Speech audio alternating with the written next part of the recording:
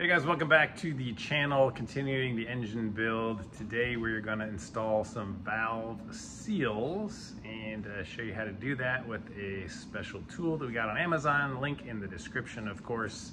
So let's get started.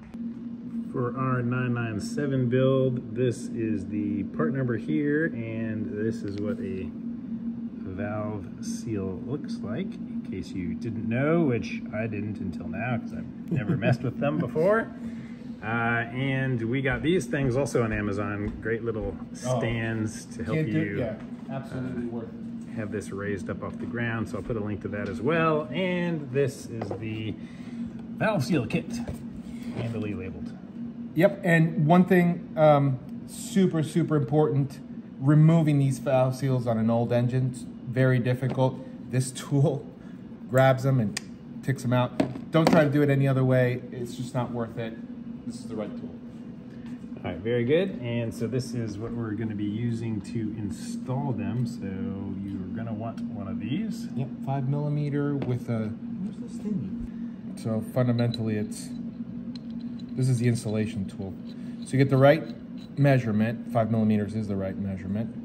And basically you just lube this up, put the seal in, has, see it has a little, um, like a spring, um, a, a clamp on it.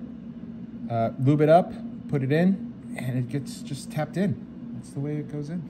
All right, so we're going to flip this thing over because we want to stand it up and do it from the correct side. Here's Aaron's coffee. All right, this is I'll hold this one.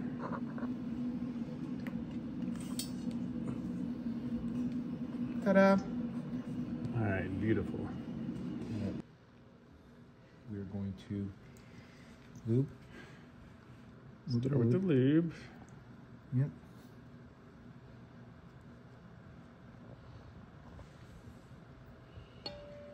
Insert it into the tool. Make sure that it's nice and square. You can see from this side that it's uh, nice and square.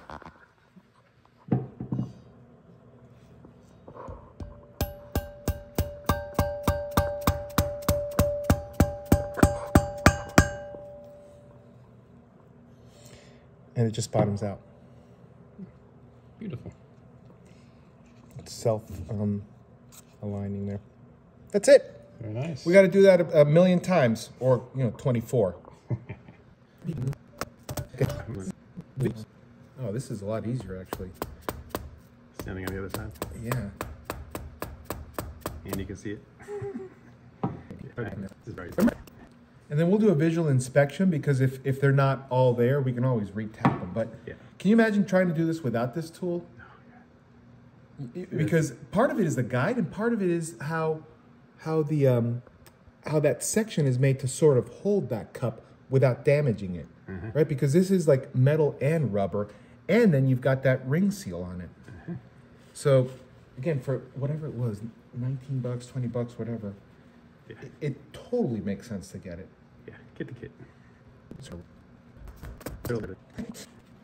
and there are people that don't replace these. It's like, dude, it's rubber moving at whatever, you know, X thousand RPMs per. And, and when you take them out, you really understand how bad they are. When you take them out, they're like plastic. Like hardened plastic. Yeah. Brittle.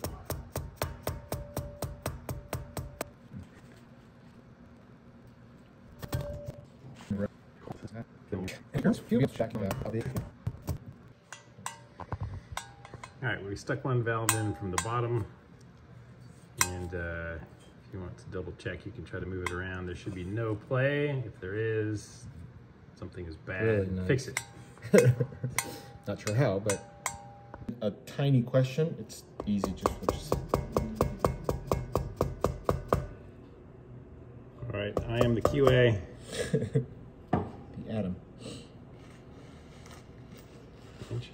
So this is with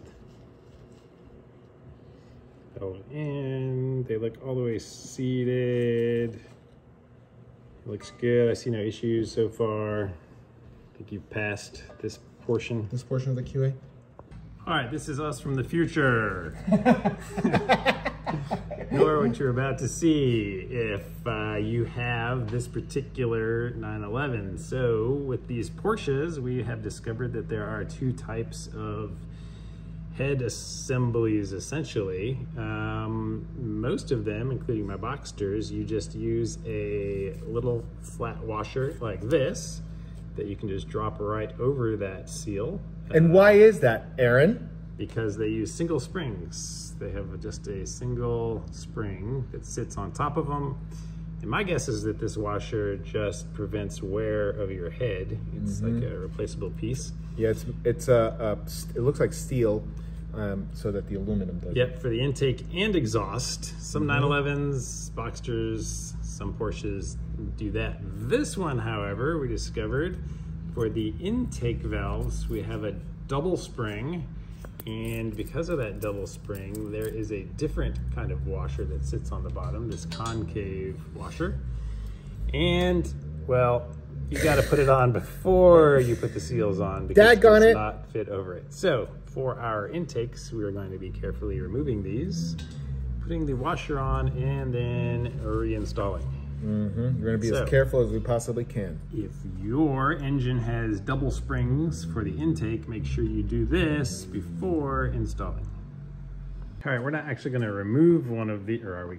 I think we are because right. we got two bonus ones.